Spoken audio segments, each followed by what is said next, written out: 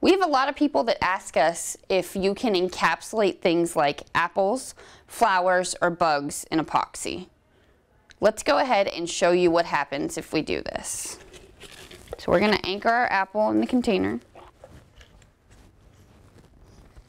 I have some properly mixed Aeromarine 321 resin and I'm going to pour it over the apple. If you want to know how to mix this epoxy resin correctly, you can go to aeromarineproducts.com and watch our double mix and pour video.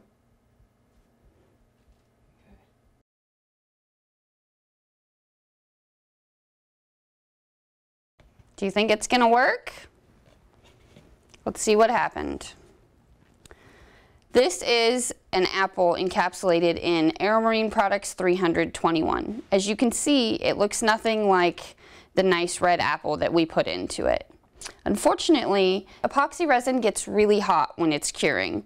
Things like apples or flowers don't do well in the heat. They get damaged and they warp. We don't recommend that you try to encapsulate organic matter in our Aeromarine Products epoxy resin. You can learn more about all of our products at aeromarineproducts.com.